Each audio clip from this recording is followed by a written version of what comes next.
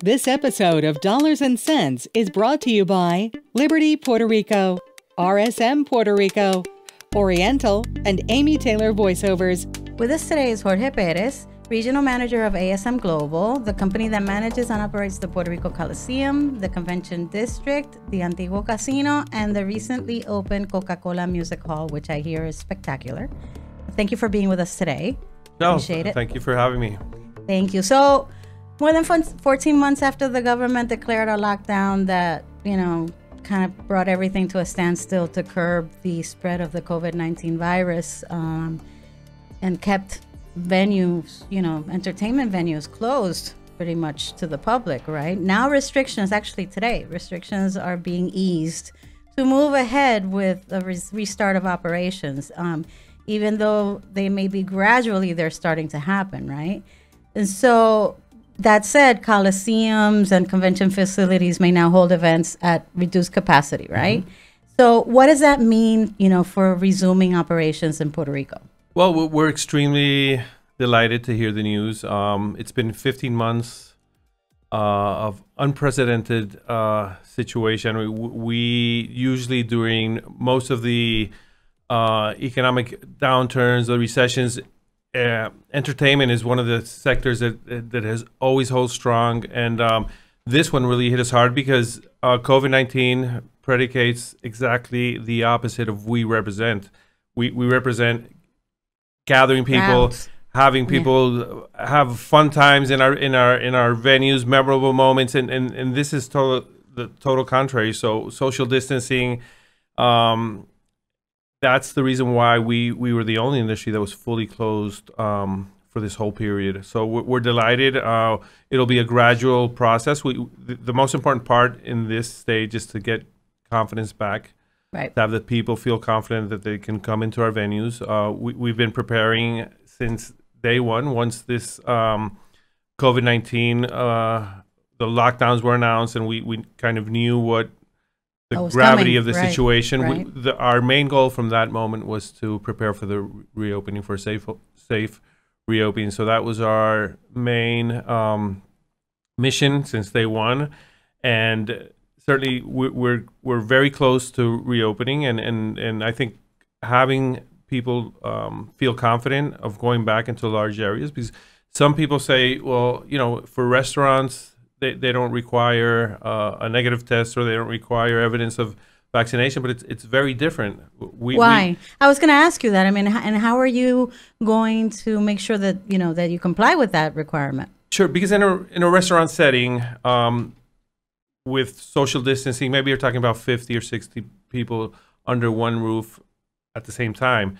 With social distancing at our venue, say uh, Coliseo de Puerto Rico, we're talking about 5,000, 6,000 people. So it, it's a very different ballgame when you have 5,000, 6,000 people gather, gathering for the first time in, in you know in over 15 months In a closed environment. in a closed environment. So I, I think it's a very um, important to to get that like I keep repeating confidence back. So we having the requirement of um, the vaccination or the negative results of, of a PCR test are, are crucial to get that confidence and get over that big first hump, which we are now. We'll verify um, more at the point of entrance because That's that's where the check. that's where right? the checkpoint will be because I, I can get online I, to data, which is our Mm-hmm. ticketing platform, and I can buy six tickets, for example. I can give those six tickets away. I, Right. I, I can give them as a gift, and that doesn't necessarily mean that if we check that the ticket Right. purchaser is, you know, Tested. complies with any Mhm. of those two, that um, that will be the end user. So we'll have the checkpoint at the entrance Okay. and with the uh, temperature check and checking of those uh, either one of those two then you'll go to a second um, checkpoint. a Uh-huh. second checkpoint where that's where we'll do the um, metal detector and we'll do the regular check that And everyone's masks, accustomed to masks are still mandatory, Masks right? will be mandatory correct Okay. Now let's go back a little bit before we, you know, Mm-hmm. go into what's coming up ahead. Um, over that year, uh, what did that close closing represent? You know, in terms of activity, economics, not only for the Puerto Rico Coliseum, which is a huge, you know, Mm-hmm. huge venue, and it's probably a huge impact. But what did it mean for the other venues? I mean, how many events were canceled? Do you know? overall on you know Overall, we, we, we reprogram most of the schedules. For example, for Coliseo, the 30 or 40 uh, events that we had in the pipeline for the upcoming months were all rescheduled. okay Um, the, one of the most dif- difficult things in this was that we did not know at the beginning. When? We know more now, but at the beginning we didn't know. So Right. it was very difficult. It was unprecedented. You know, we were still learning. I remember being asked, you know, when are you going to reopen? And at that time, I said, well, maybe we're looking at the summer. You know, this was March, April. So you know, we, we had no idea of the you know the how magnitude. naive were We- right exactly. We knew it was something bad because the whole world locked down. When I saw, saw the news and I saw the Disney, NBA, and all those were shutting down, I said, "This is this is major, major." So at the beginning, we, we didn't know. I remember talking to my boss in Los Angeles, and he said, "Jorge, 2020, you're gonna lose it completely." And I'm like, "Wow!" I'm like, "You know, are you sure?" So he knew. Obviously, He he, he had more vision. Um, but basically, so we, we had most of the events were rescheduled, and we're still rescheduling because now, when we have an opening date, so so now the executive order allows us to open. Um, the first event will be at the end of June, and then it'll just be a, a domino effect with with the rest of the producers. so do you think 2021 is is full like for the like at least the last yeah, probably from? August, uh, Q3 and Q4 uh, will be pretty booked. Um, okay mostly with a lot of local shows. We have um, some international shows that actually I signed uh, an agreement this morning with a you know a popular and are you gonna let Uh, us know what it is with a popular singer. I have to get the uh, approval get the- from okay. the producer. Well, but we uh, tried, we tried. we have um, so we have Okay. this one has been this was on schedule for April May of 2020. So we've been moving this. You know, mm-hmm. we've moved it like five or six times so uh, but there's a lot of momentum. There's a lot of positive um uh positivism in, in in the industry. The promoters are starting to call again. And Oh, like i said Okay. it was very difficult for them to schedule or reschedule when when we didn't have a starting point. We, we didn't have point a for, for anything. So now that we do you know it's people are uh, producers a lot of pu- public general public is calling to ask for questions. So now the you know the snowball effect is is, is beginning so we're we're we're we feel very good about where we are So that's at the Coliseum. What about the the people who had tickets? Um, you know, for the events that were postponed um, in 2019 and 2020. well one of the major indicators that we look at is the percentage of um, reimbursement requests uh, for tickets so in Puerto Rico, we, we've we've had 75% of people who purchased tickets for Coliseo have held on to their tickets. So Okay. that's a very positive sign. It means that people are anxious. There's a pent up demand uh, that you know that's going to be um, crucial in our reestablishing our our operations. So um, people are holding on to their tickets. They want to come back. They want to see live entertainment. So that's very positive. Now, you know, the the condition to reopening is a reduced capacity, right? So these events that you know you sold at full capacity, how are you going to distribute? You know, the audiences. Are you going to have more than one show, or are you working with producers? Yeah. What's happening with that? We- We're working with the producers hand in hand. Um, there's some some shows that may have to have a second night or maybe even a third night, but it, it's very um, premature now because Okay. there's events that are later on in the year that we still don't know what the what what the executive order at that moment will allow. So we're working with the producers. Um, we're planning on what we have today, and hopefully we, we'll have increases. Hopefully on the next executive order, uh, an increase will be um, included. So we're Okay. just. I mean, it's like everything with COVID. Um, it's day by day. Uh, we have to adjust quickly to changes. So um, basically, that's the And that's the other thing. This actually, this executive order is for two weeks. So you know, and the governor said if he sees a spike, then he's you know He'll go down, can and go- if everything is going well, he might go up. right. So okay, so this is kind of touch and go. What about the other uh, venues? The Coca Cola Music Hall, the um the Convention Center, which is key to group events, right? And the Antiguo Casino. Can we talk a little bit about each one of them and what's going on? Um, convention center. Um, out of all the inventory uh, and all the um, space that we manage, the convention center is the one that has has been used the most. Um, way at the beginning of uh, COVID, um, there was a grant. There's this program called uh, Farmers to Families. It's Oh, a USDA yes. program, Yes. and a, a, a local um, company called um, Caribbean Produce. Uh-huh.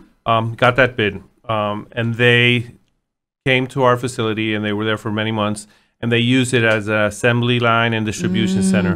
So they were producing almost thirty thousand uh, food boxes per day at our venue. So. Um, our venue was used in a positive way, and, and we we were able to have some income to keep employees on staff. Uh, after that, the Department of Labor came in and they used our uh, facilities for two months uh, as a support center for the high volume of um, unemployment applications. unemployment applications. So that was also, um, you know, they paid rent, and that also helped us keep um, keep income going, coming and, and, right. and and you know having our staff uh, affected the least possible. So when that happened, we went to the government and we said, "Listen, we, we've done these two events, uh, type of activities. We can hold um, business meetings. There's no reason why we can't do um, corporate events." So they gave us a special permit at that time. Uh, so we kept doing um, corporate events and uh, b- business meetings. So you know the, the So that one didn't take a hit. Then the convention center it's the one did it that- remain open. the, the one, yeah, that uh, partially open, but we have, and now we have the uh, the um, data center for all the vaccination um, information that, that occurs at all the vaccination sites around the island comes into the convention center. Uh, they have a data entry center Mm-hmm. there, so that's where they're keeping all the statistics on on vaccination. So that'll um, they've been there since March. So we've we've done pretty well. Um, Okay. The flexibility of our building. Um, You the- do have smaller rooms too, We- so we- you can have You can Correct. split up events, right? I mean, Exactly. So um, the Antiguo Casino has been completely closed. I- Actually, we've already done four weddings. oh, okay. So Which is had- what what is typically used for, right? That yes, we had a is so destination wedding two weeks ago, which was um, this couple from Texas. They brought in 130 people. Okay. Um, we had all the permits, and uh, they had a great time in Puerto Rico. So they, they kept their commitment to Puerto Rico, and they, they had an amazing wedding. And we've had other three three other local um, weddings. So the Antiguo Casino, as of like three weeks ago, has been operating. okay. The Coca Cola Music Hall as well. We we are a performance hall. We are a concert hall. Mm-hmm. Um, but we've had to survive, and we've done a lot of corporate events, like the one that's taking place today. right. And uh, we've had um, product launches, and we've had meetings and, and corporate meetings. So that's been in use as well. So we've been we've kept pretty busy. Um, And you also have a first artist lined up, right? For for the yeah, we have um we have um we don't have a date yet, but uh, You don't, uh.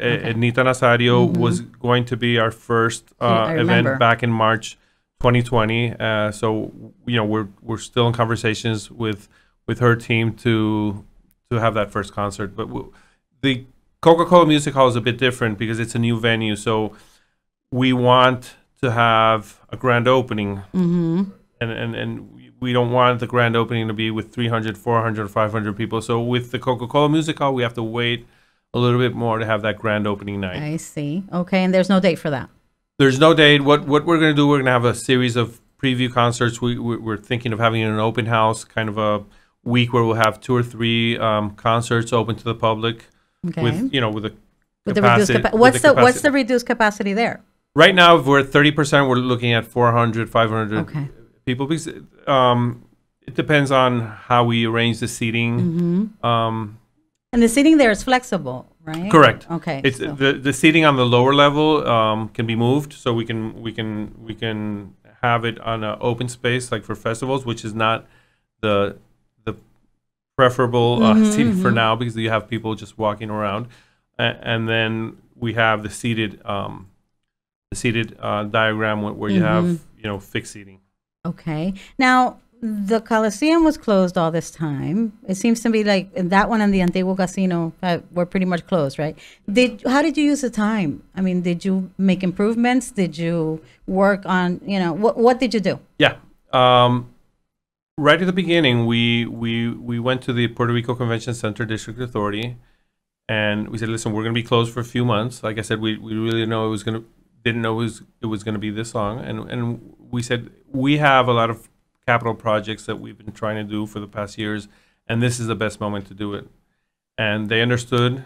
Um, they uh, shared our vision, and we, we got signed up close to six million dollars for the convention center, Coliseo, and Antiguo Casino Mm-hmm. to do capital projects which were done or could have been implemented much easier when there's no um, visitors. Mm-hmm. So we we got that approved, and our operations department and our contractors have been very busy. So uh, we made sure to make all these repairs during the shutdown and during the uh, the rest of uh, 2020, so that when people come back, they'll find uh, new and improved buildings. So what kind of repairs are we talking about? Mostly, um, there's few that are visible. For example, in Coliseo, we, we are renovating the VIP lounge. Mm. That's something that people will see. Uh, We created uh, an outdoor terrace at the Okay. Coliseo, so there'll, there'll be a space which we didn't have before, where people will be able to go out and have that That- contact with the nature and uh, Mhm. with the outdoors.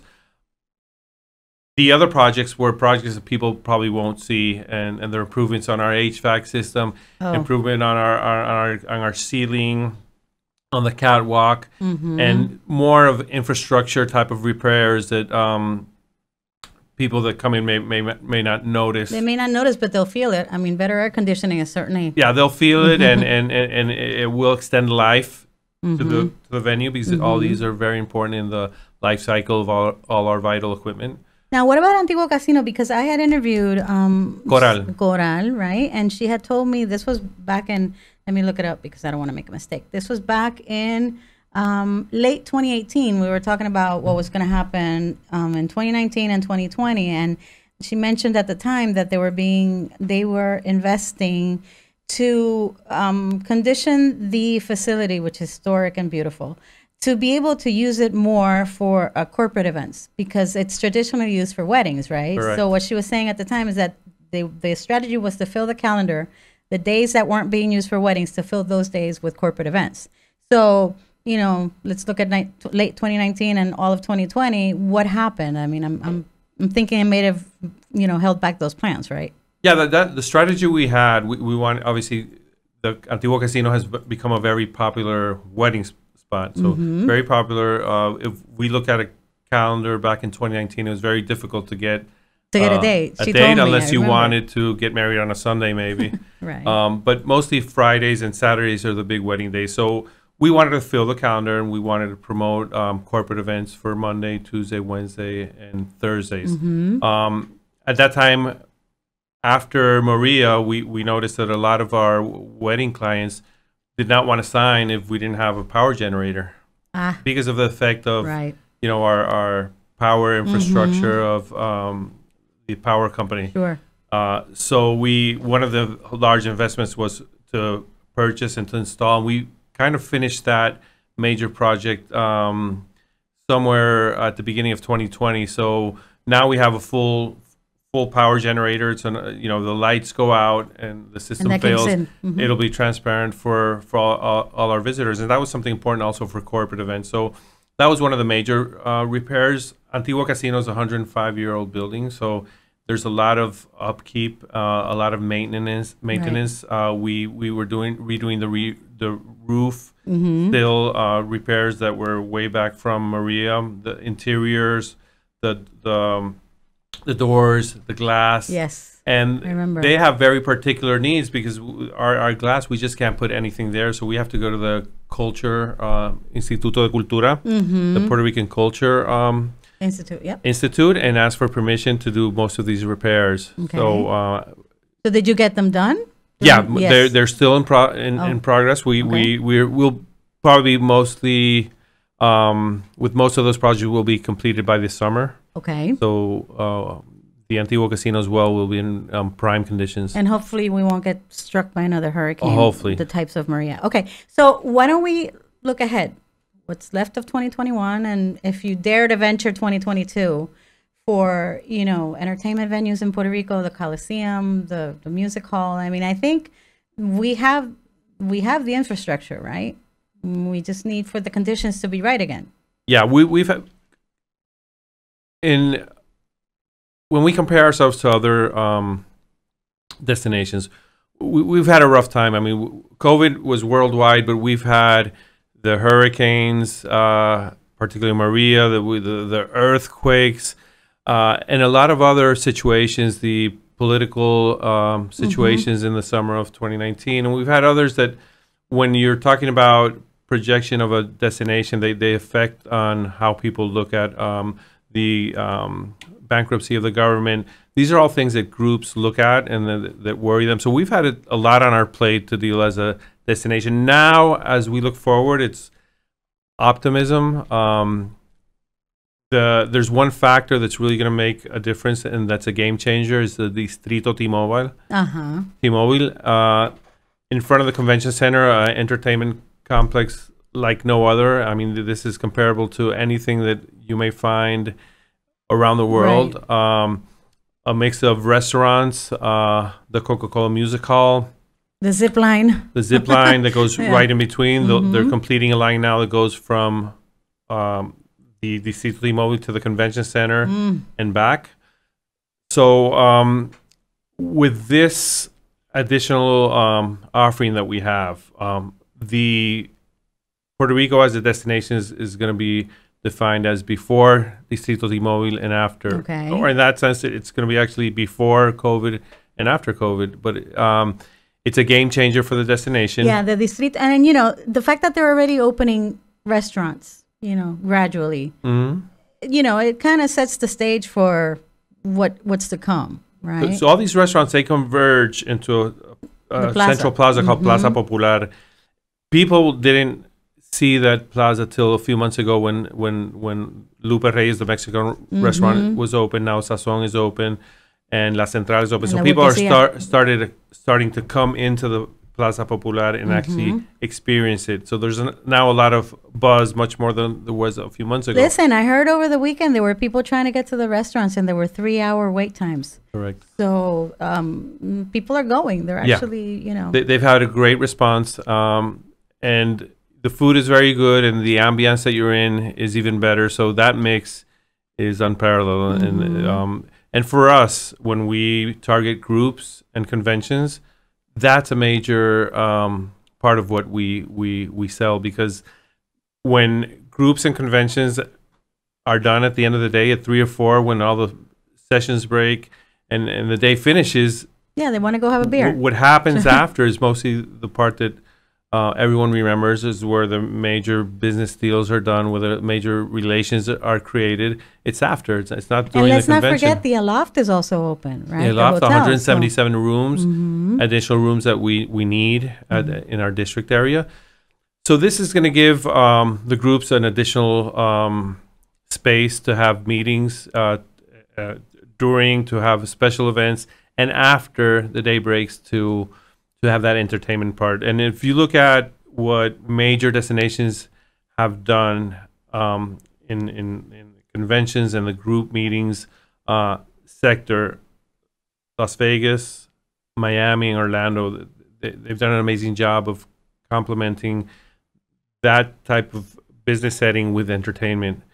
And it's then kind of a must. it's right? it's a must. Yeah. It's a must, and and obviously as a destination, um, we knew that we had to have additional elements um, to be competitive. We, we, we when we look at Puerto Rico as a destination for conventions and meetings, we're very um, relatively new. We we Mhm. had a convention center in '76, closed in '95, so we we we're relatively newcom not newcomers. We have a lot of experience, but we're a destination that a lot of people are are, looking recognizing at, yeah, now. yeah. Um, And I and I wonder, I mean, does that have anything to do with the DMO, with Discover Puerto Rico, also taking on, you know, the promotion of Puerto Rico as a convention and a, as an ideal place to Absolutely. hold conventions? Are you working with them? yeah, we work with them closely because we Mm-hmm. we obviously we target the groups that are going to the, they they have the responsibility of Puerto Rico as a whole. Mm-hmm. But when they are targeting business for the convention center, we are right with them, uh, hand in hand, uh, helping them target and uh, and um, lure these um, groups to come to Puerto Rico. You know, you mentioned the word optimistic, you know, optimism, and that's something that has been repeating recently um, among executives and the government. I, there was a, um, a convention last week, uh, Chamber of Commerce, um, and they spoke of the optimism that they feel for you know now that things are sort of wanting to go back to normal. Why are you optimistic? The pent up demand that has Mhm. been building during these 15 16 months um, people are eager to go out uh, in most cases people have they have had funds um, at their access uh, Yeah, from different sources Mhm, mhm. Uh, from federal help or, or local help um, and, and entertainment nothing can um, replace the social interaction the face-to-face and that, that's basically that's what we're all about. So from our perspective and makes, bas- basically most industries are feeling that optimism but we see it because um, people want to go out they want to have fun. Um, we provide the, the, the main venues for people to come and join. Uh, we those venues are at the disposition of our communities for for gatherings and, and, and for social events. So um, we we see that 2022 is going to be very very actually right now in the group and convention industry um, sector we have nine groups that are committed to puerto rico so, it's- so it's going to be a solid year and we still have like 15 other groups that are looking at puerto rico Okay, so that we can so there is a pipeline for this year. 2022 is, is Oh, gonna- 2022. 2022 is going to be for this year. It's a very um, great story. We we we kept four groups that are going to be here for Q3, Q4. So Okay. we were able to keep the commitment of those four groups. Very important for the destination, and we are able to sign two groups during COVID Mm, for 2021, which is uh, an amazing feat. Mhm. One is a gymnastics event that's going to be held in in December okay. and this is a tour, uh, uh, an event that goes around all the nation, and they're going to have a stop in Puerto Rico. Okay. And another one is a technology, a Lat- LATAM te- technology um, group Okay. um, based out of Panama, and they chose Puerto Rico for for the group, and, and that one is signed already. We signed last week, and that's going to bring probably a thousand people. Do you know the the island. the economic impact in terms of room nights? Yeah, this uh, between both, we're talking about um, probably five five thousand room nights. That's not bad. between both groups. So, Okay. And you then know, the other four that you had locked down. that yeah, those are like twenty thousand rooms um, Okay. between all of them. So we we we we maintained those, which was very important, and we did it with constant communication. Uh, we, we had two main um, selling points, and one is Venue Shield, which is, are the pro- proprietary um, protocols for ASM Global. Mhm. which are being used in in all our venues across five continents, over 320 venues. And besides um, Venue Shield, we wanted to make sure that uh, we had another additional um, um, certification that would make our customers confidence feel, thing. you know, AS, uh, ASM has Venue Shield, but we wanted a third party to validate that what we are doing was with under the best um, practices and guidelines in the whole world. So um, we got certified all the four venues in Puerto Rico. We got the GBAC Star, Facil- Star Facility certification. Okay. This is uh, from the Global Biorisk Advisory Council. So what does that mean in in you know rice and beans? That means that, that, that a third party validated that all the protocols and measures that we use to prepare f- before, during, and an after event are comparable with the top practices in the world. Th- This is a certification that um, Staples Center has, Mm-hmm. that the O2 in London has, that um, major hotel chains have, that the major airports have. So basically, this is a, a stamp or a seal of approval from. so people should feel safe. people should feel safe. Okay. People with a GBAC star facility, that's uh, a seal that uh, anywhere that you see that is you're coming into a place where management understands. And w- one of the key messages that management understands the importance of, of providing a safe um, setting for Mhm. for for um, for visitors. So we we it, it, took us many months, about six to eight months, and it was right during the um, during the darkest part of COVID where we decided to do this. So we had to sell the idea of you know we need funding for this because the, the Mhm. certification costs. Um, and we want to do it for the four venues. So for you know our venues, our ownership, which is the Puerto Rico Convention Center District Authority, they they saw uh, the value in that, and they assigned in a moment where we are closed, they assigned the funding so we can get those certifications. Okay. So 2022 is also looking okay. Very good. okay. Very good. And For for, 2022 for concerts, we're looking at a lot of um, a lot of big, big International- big international um, uh, names, um, tours that we, we're, we're, we want to bring back to Puerto Rico. Uh, one of the important things for Coliseo is we, we want to bring back some variety in the programming Mm-hmm. for Which the- means what? For the last two years, it's just um, besides we've been we've done very well with reggaeton, and uh, obviously it's it's a, uh product that the people demand, and we understand that. But I think there's space for bringing in other acts. For example, when Phil Collins came three That years ago, it was a major success, and I think there's room for more acts like that. Yes. And uh, we are targeting them, and we are talking to producers, and, and we are letting them know that it's our interest. Uh, we're gonna have sports. Um, You've had basketball, you've had tennis, you've had all sorts of exactly. things. Um, we, we'll we'll have um, we'll announce uh, soon um, uh, a partnership with sports. So Okay. um, I, I think it's important for there to be a, a, a great mix in programming. So that includes family shows, Mm-hmm. which we have. We have the Disney on Ice. We have the Monster Truck. Um, so we're going to keep those in our portfolio. We want to keep the the there's some international stars that always come Mm-hmm. to the Coliseo. We want to add on that. Marc Anthony in December. Marc Anthony in December. Some are, are, are, are, you know, already iconic um, dates for the Coliseo. Mm-hmm. And we want to bring the larger shows. And uh, for Mm-hmm. but example, but the larger ch- shows could be a challenge with the you know restrictions on the capacity. correct, but we're targeting these for 2022, okay. 2023, But for we example. don't know. I mean, that's the thing. So I know that that's something that you must have in the back of your mind, right? Yeah, but the, the, the tours are back. I mean, tours Okay. are already announcing dates. So, for example, I mean, Bruno Mars is something that's on top of our list. Uh, Coldplay, Oh well. uh. I'll be saving my money for those because I don't do reggaeton. So so what what what we're doing is we, we want to let the producers know that we're, we're on board that we, we want these shows to come and, back and that's important because I know that producers also took a major hit. Yeah. Um, Mhm. I was speaking to one the other day who was saying, "Listen, you know, if I don't get the assistance from the SBA and the government Mm-hmm. or whatnot, I can pretty much call it a day and go home yeah because they took a major blow."